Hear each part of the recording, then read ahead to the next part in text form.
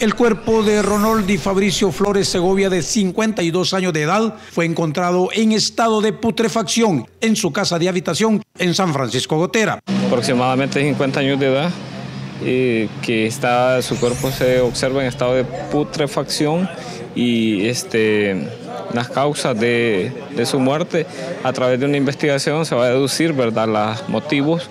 Una hipótesis cuenta que el cuerpo a simple vista no presentaba signos de violencia, por lo que presumen que podría haber muerto por otras causas o muerte natural. Preliminarmente podemos decir de que esta persona se encerró en su vivienda, en su cuarto, le puso doble llave y ni alguna enfermedad o algo le pasó para que quedara en su cama fallecido, ¿verdad? Al momento de recoger esta información, aún no llegaban sus familiares, Medicina Legal y Fiscalía.